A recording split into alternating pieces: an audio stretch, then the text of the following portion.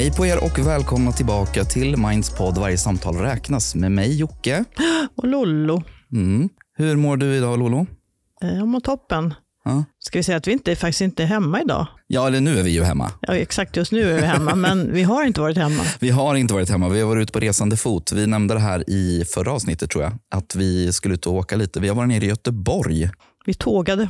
Vi tågade ner till Göteborg för att spela in eh, ett par poddavsnitt och eh, ni ska få höra ett av dem idag. Och eh, idag då så går vi direkt på och berättar om dagens gäst. Ja, det tycker jag. Mm. Det är ju då Danny Lam, som är mer känd kanske som Tänkvärt på Instagram framför allt, som är en av Minds ambassadörer. Ehm, och Danny, ja, vad ska man säga om honom? Hans konto Tänkvärt, det, på det kontot så delar han ju ehm, ja, men mycket om just eh, kring rasism och vardagsrasism. Och det nya ordet som jag fick lära mig, mellanförskap. Ja, men precis. Han eh, kommer berätta mer om det i avsnittet, men just att han är ju då eh, född i Sverige, men han har eh, föräldrar som kommer från Vietnam. Eh, och har haft, eh, ja, men har haft jobbigt under uppväxten att liksom identifiera sig med eh, just si- den vietnamesiska sidan Ja, men av precis. honom. Och i princip förträngt den, Mm. kan man ju säga. Ja. Ve- Velat, velat vara en vanlig svenne, Ja. men, men brottats med de här känslorna av att inte riktigt höra till, inte Ja. höra till någon. Ja, känslan av det. Ja, Mm. Exakt. Nej, men och jag tycker att det, det var ett väldigt fint samtal vi hade med honom. Ja, han gör ju stor skillnad och jag tänker han är så ung. Det är Mm. fantastiskt att han är så ung och har så ja, starka känslor kring saker och ting och eh, kommunicerar det. Ja, ja, och det är modigt också, för det kommer vi också in på i samtalet. att eh, Det här med att han, eh, ja, men hur är det egentligen att driva ett sånt här stort konto och liksom hur påverkar det honom? Eh, och, och ändå lyfta såna här pass liksom, viktiga, men ändå också lite så här, det, det finns ju tyvärr folk som blir provocerade Ja. av, av det här. Det förstår man ju att det inte är riskfritt. Nej, precis. Så det och mycket annat kommer vi prata om eh, med Danny idag.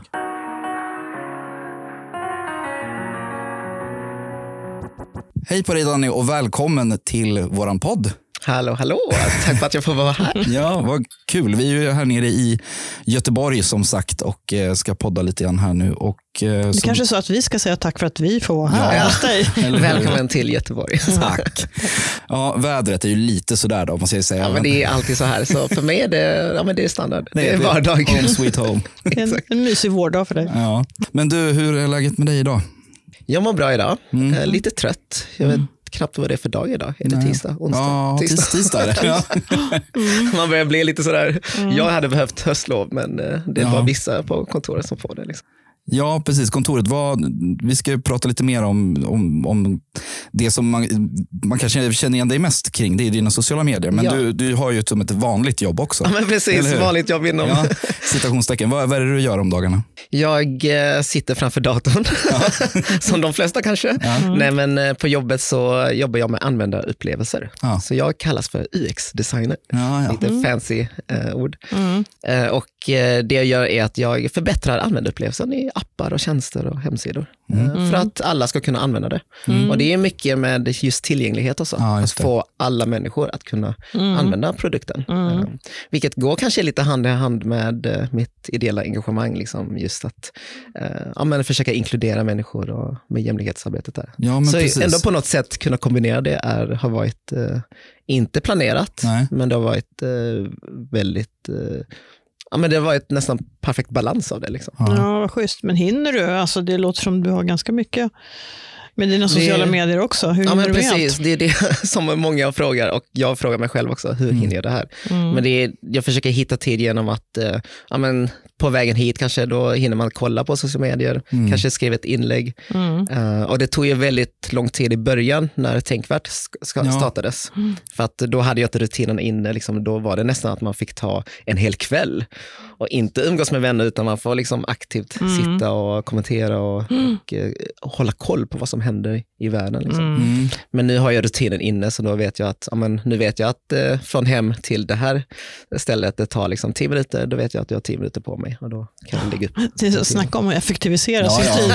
Eh, Men precis, du nämnde nu tänkvärt. Kan inte du berätta lite mer? Vad, vad är tänkvärt för någonting? Och liksom för de som inte känner till. Ja, precis. Tänkvärt. Man får nog backa bandet ganska långt till, till hur jag ens fick idén, tror jag. Mm. Eh, och eh, då får man prata om min uppväxt. Ja. och eh, för mig så har det, jag har alltid känt mig lite, lite aldrig riktigt som en svensk. Och aldrig riktigt som en vietnames, som mina föräldrar är ifrån. Eh, och det har skapat någon känsla av mellanförskap, eh, en känsla av att, att hamna alltid mellan de här två världarna. Liksom. Mm.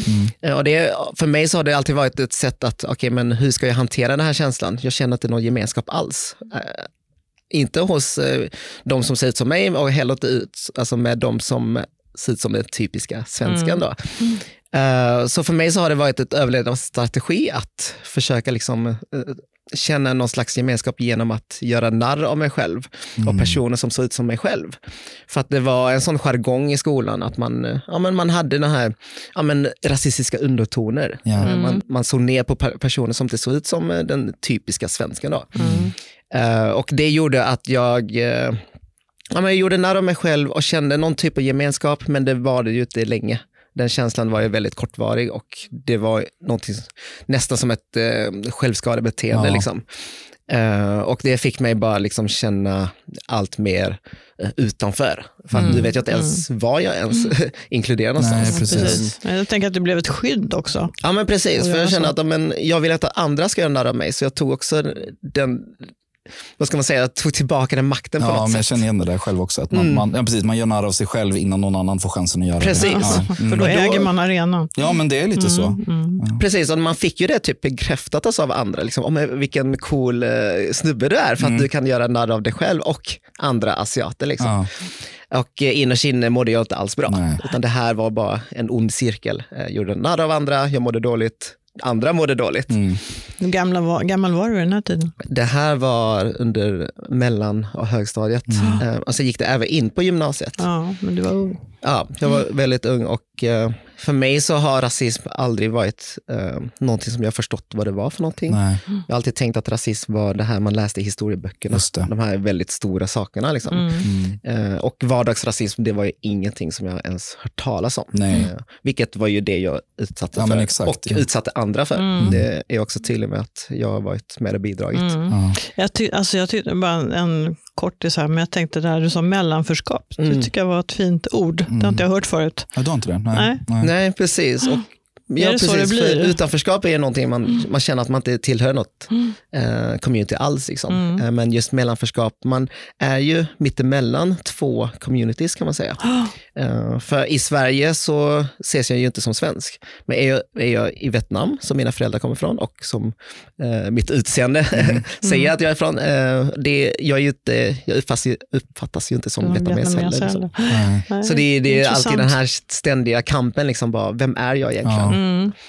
Eh, Så efter studenten så kände jag bara, nej men nu, nu ska jag flytta härifrån. Ja. Från Helsingborg, en ganska lagom stor stad, till lite större. Mm. Och det blev Göteborg då.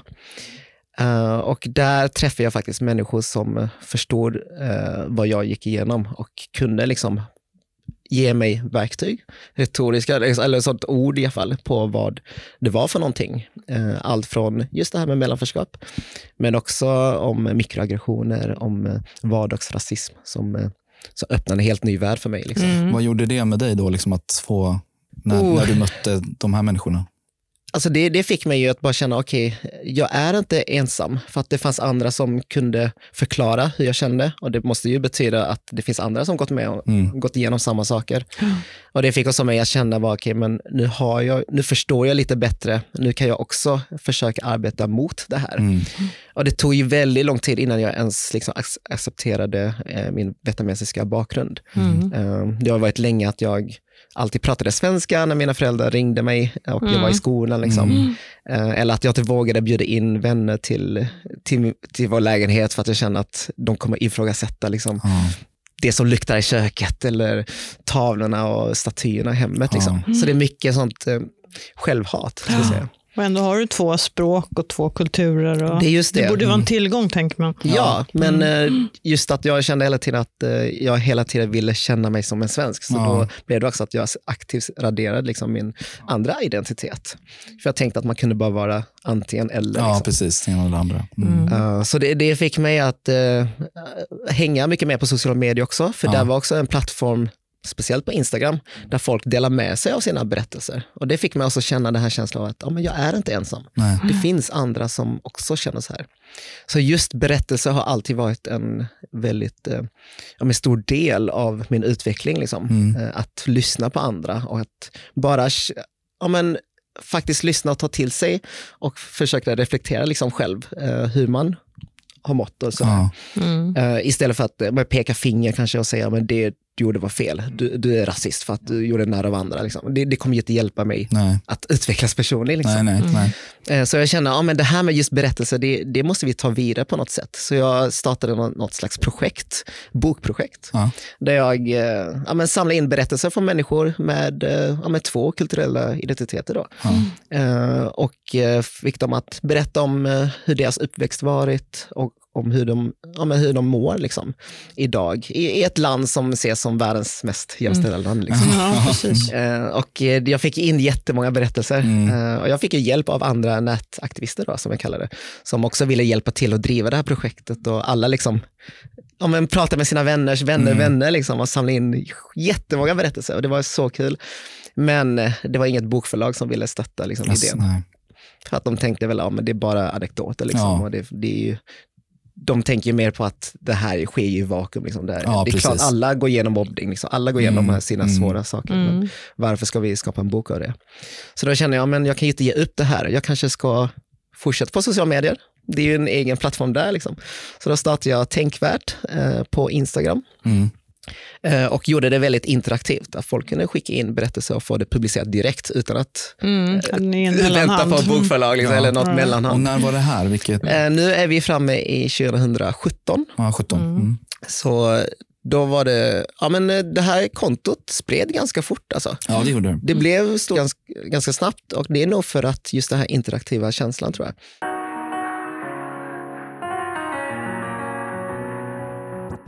Men, men då när du när det, när det här drog igång nu då, och du, det växte och så där, vad, hur kändes det då för dig? Alltså, och, och, var du, nu minns inte jag, för jag, jag tror att jag var ganska tidig på att följa, följa ditt Mm, konto, men, men hur- visade du dig, liksom, visste man vem du var som hade kontot eller var du anonym? Ja, eller? i början lite. Då var det mer att eh, prata om bokprojektet, liksom. eh, om eh, vad, vad tanken var, liksom. men att inget bokförlag eh, ville ja, men snappa på idén, så då fortsatte det här aktivismen liksom, på Mm. sociala medier. Mm. Men sen höll jag mig rätt anonymt, ska Ja. jag säga. Mm. Eh, och tanken var mest för att eh, fokus skulle vara på berättelsen. Precis. Det var att Du ville vara en kanal mera. Ja men Ja. precis, jag vill förmedla de här rösterna Mm. snarare än att ja, men det är jag som driver det här, det är jag som... Mm, det handlade inte om dig? Så, Nej. liksom. Nej. Ehm, Nej. Så visst, ibland tog jag också in mina egna berättelser för att eh, knyta an liksom, eh, vissa saker som jag kunde relatera till.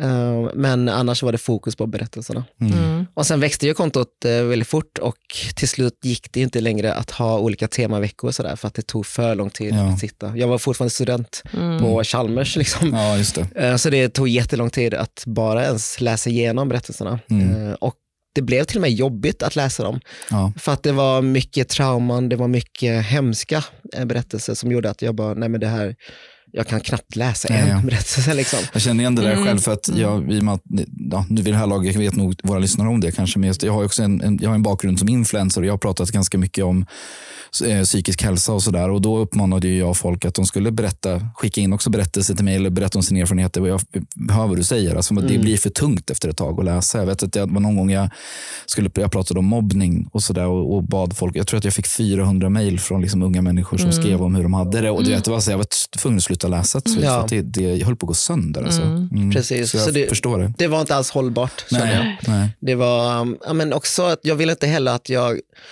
ska välja ut berättelser som är värre än den förra. Nej. Liksom. Alltså det blir ju också att man, ju fler berättelser man läser, kanske det blir att man, man sitter där och bara inte ens reagerar längre Nej. på vissa hemska. Mm. Eh, Så jag kände bara, nej men det här går inte, det är inte hållbart. Eh, Så då blev det mer att jag lyfte Ja, för, för jag tänkte hela tiden, okej okay, det här är ett problem. Det är ett strukturellt pro problem. Mm. Det är någonting som sker inte bara i Sverige men också i hela världen. Mm. Liksom, mm. Med, med rasismen men också med utanförskap och mellanförskap och sådär. Så jag känner att någonting måste ske och visst, man kan läsa alla berättelser eh, och det går ju till viss gräns. Man får den kunskapen, men vad ska man göra sen? Just det. Så jag känner att jag behöver kombinera de här anekdoterna med alltså ren statistik och fakta, men också med den tredje eh, faktoren då att uh, få in liksom, tips på vad man kan göra i vardagen. Mm. Så då försökte jag liksom då läsa på mycket, uh, försöka förstå vad är det man kan göra i samhället. Liksom. Mm. Allt från civilkurage liksom, mm. på individnivå, vad vi kan göra som individer, till uh, ja, men just sätta press på politiker, att skriva in alltså insändare och mm. gå ut och demonstrera och allt det här. Liksom. Mm. Så då mm. försöker jag ändå att lyfta nyheter och kombinera de här tre. Mm. Så jag tror även idag 2023 så kan man fortfarande se det i de här inläggen jag lägger upp. Ja. Att det är en nyhet, ja, men det finns alltid liksom en berättelse för att få folk att känna någon slags mm. relaterbarhet. Mm. mm. Och sen också statistik, det tycker jag är väldigt viktigt, mm. speciellt med bakgrund inom Chalmers och sådär. Ja, så jag ja, men, men det, det, är bra att det finns någon, någonting att luta sig mot. Liksom. Ja, det, mm. du, du, du är väldigt, du är väldigt eh, noga med just källor och sånt ja. när, du, när du postar dina inlägg. Precis, det tycker jag är väldigt viktigt för att jag vill inte att folk ska, nu har kontot typ 190 000 ja. följare liksom, och det känner jag att det är väldigt stort ansvar och press på mig. Ja. Att mm. så fort jag skriver något litet fel, då kommer det påverka ja, väldigt ja. många människor. Liksom. Mm. Så jag länkar alltid källor för att folk ska kunna läsa vidare originalkällan. Och att inte bara lyssna på mig, alltså, nej, lita på mig till 100 procent. För att jag är också en människa och jag gör också mina misstag. Och det måste men vara även okay, här liksom. är du som en slags kanal. Alltså, ja. Då är du eh, vägvisaren in till uh, djupare information. Ja, men precis. Kan man säga, och mer kunskap. Så det, det, har jag varit väldigt transparent med. Och jag har också varit väldigt transparent med att jag är inte opartisk. Jag är inte eh, objektiv. Mm. För att Alltså jag är människa, jag tar in så mycket mm. grejer själv. Liksom. Mm. Det är klart jag är subjektiv. Det är klart jag inte är neutral. Och det tror jag är väldigt viktigt att vara, vara transparent med det också, mm. för att få följarna att eh, få någon slags tillit till mig. Och att känna, att här har vi en person som kan allting, ja, som, ja. som vet allting, som är en tidningskanal. Liksom. Ja, men, men jag tänker det, i och med att det har blivit så stort som det har blivit, finns det en förväntan på att du ska vara neutral? Alltså, jag kan tänka mig att det gör det. Definitivt. Ja. Det är alltid människor som hör av sig. Bara, nu avföljer jag för att jag trodde du skulle vara objektiv. Ja. Och jag bara, men jag har aldrig sagt någonstans Nej. att jag är objektiv. Nej. Och det här är inte någon eh, tidningsredaktion eller, Nej, eller något precis. mediehus, Nej. vilket många tror för att mm, jag är väldigt anonym. Liksom. Ja. Eh, vilket är förståeligt eh, om man mm. tror att det är ett mediehus. Mm. Liksom. Jag tar det som en komplimang. Ja, ja verkligen. Ja. men eh, ja. men det, det tär alltså på en att hela tiden få de här, ja, men varför är du, gör du inte så här? Varför lyfter mm. du inte det här? Ja. Är du det här, det här, det här? Mm. Och jag bara, men ett tips från mig är att du själv också har en röst. Ja. Du har lika stor mm. mm. röst som mig. Alltså egentligen, eh, om du vill så kan du också starta något eget mm. och jag kan hjälpa dig att få ut din röst. Liksom. Ja, det är schysst. Um. Men ber du dina följare om, om tips på ämnen och sådär också, eller kommer det automatiskt? Uh, I början gjorde jag det, mm. men nu behöver jag inte, alltså, inte. folk hör av sig uh, konstant. Så det, det är också svårt att kolla igenom sina meddelanden och svara liksom och eh, försöka lyssna på alla för att det går inte. Nej. Så nu har det blivit mer att jag, tar, jag tackar för tipsen men att jag lyfter det som jag personligen känner att jag har ja, men, eh, kanske att jag kan relatera på något sätt ja. eller att jag, kan, jag har någon slags kunskap i det ja. för att jag läst om det. Någon slags anknytning mm. kanske. Ja, men precis. Men, men som du, du sa det här just att är det mycket det här att folk hör av sig till dig och säger att menar, som klagar på dig att du inte lyfter vissa saker som får... För att jag, jag, så här, det känner jag också igen lite grann, även om mm. jag inte ens har haft ett, ett sånt typ av konto. Så det är också sådär att det har lugnat ner sig för mig nu, men förut var det alltid så att så här, men varför lyfter du inte det här? Varför säger inte du någonting om det här? Varför säger inte du? Alltså, det kom dagligen om olika saker. För att, såklart de som skriver, för dem är det ju det viktigaste kanske. Mm, mm. Um, men, ja, men så här, är det mycket sånt? Och, ja, och, och, det är det. och så här, har du lärt dig att hantera det? För jag kan tänka mig att det kan kännas ganska jobbigt att folk Definitivt. är arga på dig för att du inte... Ja, men precis. Nu, mm. Definitivt. Och eh, ibland får jag liksom mental breakdown och bara liksom skriver på stories. Bara, så här är det. Jag är ja, jag en vet, individ. Ja, det kanske mm. Mm. Nej, men jag, jag, tycker det är bra att du, att du sätter den gränsen. Jag tycker ja. det är jätte, jättebra ja, att du gör det. Men Ja. det, det, det är liksom alltid ångest efter jag skrivit dem. Jag bara, shit, förstår det. Nu, nu har jag liksom förstört förtroende för följarna. För de vill ju inget ont. Nej, det är klart de, de, inte de brinner ju för de här frågorna och de vill ju Men det är det precis. de ser ju upp till någon och de Mm. vill att den personen ska lyfta de frågorna. Liksom. Så då, då känner jag alltid bara shit, nu kanske jag gick över gränsen. Men eh, jag tror också att det är bra att visa den sidan att Ja. här, har jag, en, här jag är ensam i det här, det här gör jag på fritiden. Exakt. Jag kan tyvärr inte lyfta allt, Nej. även om jag vill. Liksom. Mm. Nej, det, går, det, går, det går inte. Nej. för då, då, det, det slutar ju bara då med att du inte... Då kommer ju folk tröttna om det blir för spretigt också. Ja, liksom. och då kommer precis. folk bara vara så här, jag orkar inte. Och Då, då, då kan du ju förlora förtroende av den Ja, anledningen. men tänker jag. också för min egen skull. För jag, jag börjar tänka mycket på vad är det jag själv vill och Ja. vad är det jag själv jag orkar med. Liksom. Mm. För att är det ens det jag vill, att jag ska lyfta hela världens Ja. eh, Mm. problem och orättvisor? Liksom. Det går ju inte. Men också att jag själv, jag kan inte bara liksom copy-pasta från någon media Nej. och bara, eh, någon tidning liksom, och klistra in det. Det går inte heller. Det är ju så taskigt mot journalister som Ja. faktiskt jobbar med det här. Mm. Så jag vill ju ändå alltid analysera själv. Mm. Mm. Så det har jag också fått lite liksom, klagomål på. Men varför måste du verkligen analysera allting? Kan du inte bara fördöma Ja. X och Y? Ja. Jag bara, Mm. men det är inte det det går ut på. Tänk mig att det handlar om att faktiskt analysera och jobba aktivt för att motverka Mm. de här liksom, biases som vi Mm, har. mm. Liksom. Men jag tänker, du har gjort en sån lång resa då från det du hade från början i Helsingborg Mm. med, med det du upplevde där, ditt gamla liv och så. Nu när du kommer tillbaka, hur, hur upplever du att det är? Och, alltså ser du människor eller saker som händer där eller så på något annat sätt nu? Ja, jag, jag, jag är 30 år nu och jag jobbar fortfarande mycket med min psykiska liksom, men ohälsa eller med Mm. psykiska hälsa. Och det är för att det här är någonting som jag upptäckte ganska sent. Mm. Eh, Det var ju först liksom, verkligen högskoletiden så jag upptäckte Mm. de här begreppen och Ja. faktiskt faktiskt började reflektera över vad jag faktiskt har gått igenom. Så det är väldigt eh, fortfarande fräscht i minnet. Eh, och anledningen till att jag är med i Mind är just också att visa att, jag, att det är en pågående process och att jag Mm. vill vara med i den här Mm. kampen. Att, eh, Mm. att få folk att prata mer om psykisk ohälsa, att eh, försöka lyfta och uppmärksamma det. Liksom. För att jag själv är i den situationen just nu. Mm. Eh, Mm. jag tror också att eh, jag vill liksom nyttja min plattform på något sätt också. Så jag känner att den kombinationen att själv få lyfta de här frågorna med Mm. er, men också att kunna ta det vidare till min plattform och få folk att också reflektera över sina upplevelser. Mm.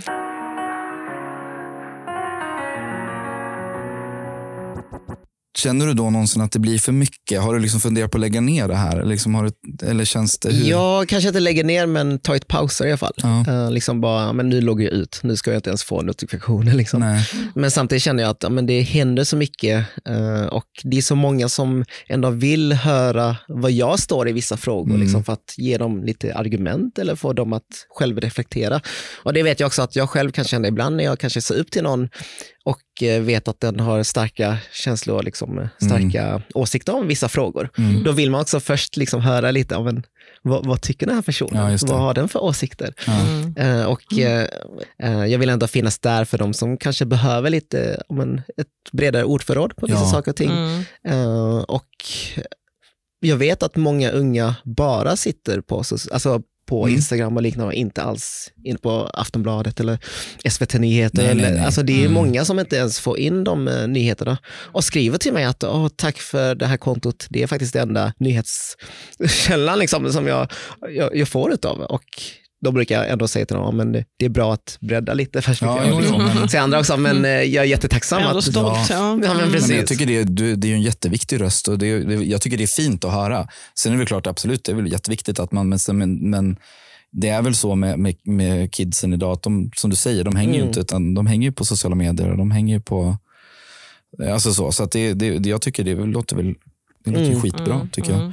Men Precis. om man skulle eh, renodla, eh, vilken av dina frågor känner du att du brinner mest för? Är det någon du, du brinner lite extra för? Ja, men det är ju det. Uh, antirasism har väl alltid varit liksom, eh, ja, men hela det som har byggt upp Tänkvärt. Kan Ja. jag säga. Eh, och det försöker få in det perspektivet i alla frågor. Ja. Liksom. Eh, för att allting går lite hand i hand. Ja. Alla sorters förtryck. Liksom. Vi kan inte bara prata om homofobi utan att få in det antirasistiska Ja. perspektivet. Liksom. Eller prata om sexism utan att pr- prata om också det antirasistiska perspektivet. Mm. Så det, det har väl varit det som har varit grunden för hela Mm. Tänkvärt. Och det, även idag så kanske man pratar om andra saker så försöker jag ändå få in det på något sätt. Och Mm. liksom just intersektionalitet, att se att det finns olika typer av förtryck som korsar med varandra. Liksom. Mm. Mm. Att en människa är så komplex. Det är inte bara en sak man, eh, man kan utsätta för, utan det är ju mycket som går parallellt hela Mm. tiden. Mm. Ehm, så det är väl mest som också är ett sätt att bara öppna uh, ja, men, dörrar eller diskussioner Ja. för de Ja. här frågorna. Liksom. Nej, men jag menar, vi stöter ju på mycket av det i, våra, i vår, vår dagliga verksamhet också. Och och just det här jag menar, med, med olika typer av eh, vad ska man säga, ja, men strukturella problem kring eh, psykisk ohälsa Mm. och vilka som får vård och vilka som eh, hamnar efter. Och, alltså, det finns ju olika delar i det också som är relaterat till det här Mm. eh, Just det. med rättvisa och så, tänker jag. Ja, absolut. Mm. Men jag tänker då att så här, jag, jag kan tänka mig, nu kanske jag är fördomsfull här, men jag kan tänka mig att det är mestadels kanske vita kvinnor som lyssnar på den här podden i med, medelålders. Nej, men, men jag tror att det faktiskt är det. Mm, Eh, mm. Men jag tänker att vi har också en del som eh, jobbar inom skola och sådär. Mm. Eh, finns det någonting som lärare till exempel eller som jobbar med unga kan göra för att se ett, ett barn som, som du, som du var, som Mm. du sa, som kanske finns det någonting man ska hålla utkik efter och finns det någonting man kan göra i klassrummet för att få personer att känna sig mer inkluderade? Ja, alltså jag tänker som mycket annat så är språket handlar ju, det, det spelar ju väldigt stor roll. Mm. Eh, Speciellt för barn som kanske, ja men eh, homosexuella barn kanske. Ja, Bara där, att man har ett väldigt inkluderande språk ja, till exempel. Och det tror jag kan också gå att applicera på antirasism. Ja. Att man pratar om att, inte den här vet, färgblindsretoriken som Nej. finns ibland, att man bara, men jag ser inte färg. nej. Ni alla är liksom, eh, eh, ja men ni, ni är alla likadana för mig Ja. typ. Men i verkligheten så är det ju inte så. Nej. Kanske ett svart barn kanske utsätts för diskriminering Mm. i skolan Mm. mycket Ja. oftare än ett vitt barn. Och då kan det vara bra att ändå prata om de här sakerna, vad, vad som sker och vad, hur man kan jobba aktivt mot det. Liksom. Mm. Eh, Och om jag bara relaterar till hur jag själv hade velat ha som barn, det är just att ha kunna bara känna att man inte var ensam, Mm. att man faktiskt pratar om det och Ja. inte bara liksom sopa allting under mattan. Vilket kan lätt hända för att det är obekvämt att prata om, om hudfärg, om ras och sådär. Liksom, för det, det är så tabu i Sverige. Ja. Liksom. Hade du ingen som såg dig? Nej men alltså inte på det sättet att man pratar om just mellanförskap. Nej. Liksom, Nej. eller att man pratar om att man kan bli utsatt för vardagsrasism. Liksom. Det var ju verkligen bara sånt man läste i historieböckerna och att ja, men Sverige, vi har inget sånt. Nej. Vi är ju ett jämlikt land. Liksom. Ja, precis. Så jag tror bara att någon typ av transparens och att man lyfter de här frågorna, Mm. det kan vara en väldigt bra början Ja. i skolan. Mm. För att vi påverkas så mycket Mm. eh, som barn. Um, så det, det är det jag hade velat behöva faktiskt. Ja.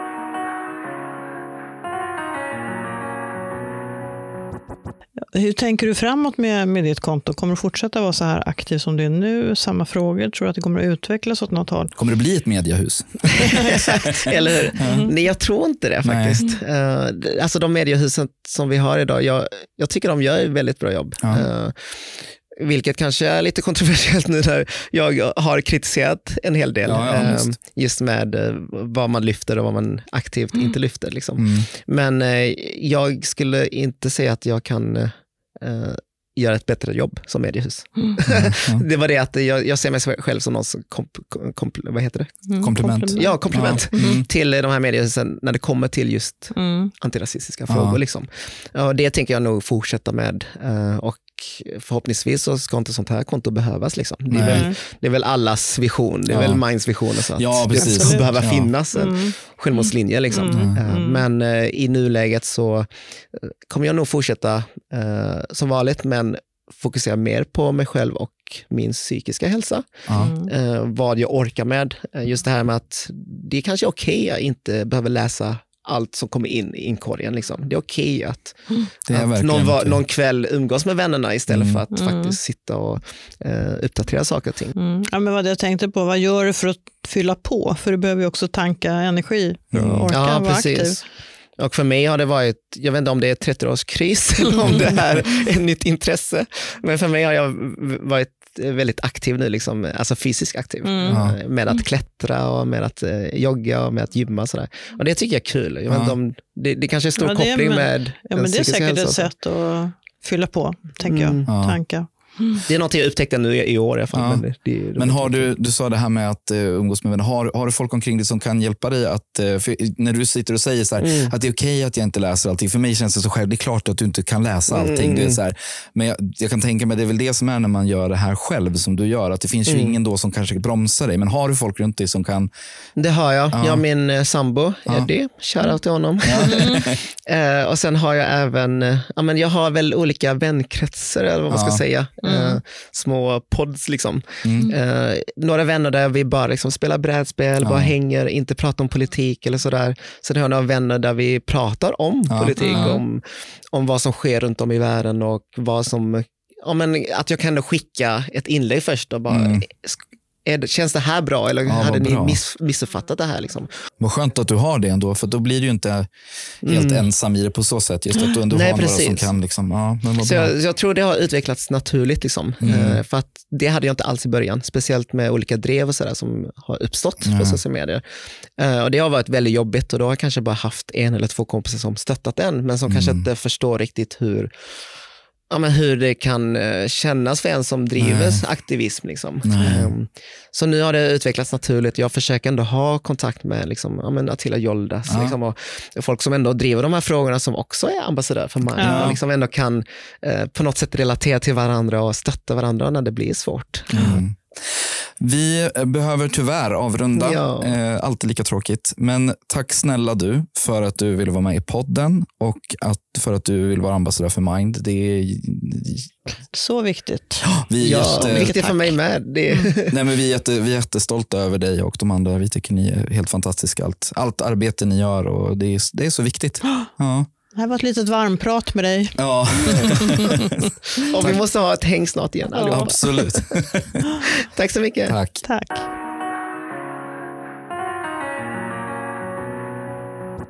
Ja, men vad fint eh, att höra honom berätta de här sakerna. Det var jättemycket som jag fick lära mig faktiskt av det här samtalet. Mm. Och, och just det här att han har blivit så utsatt också.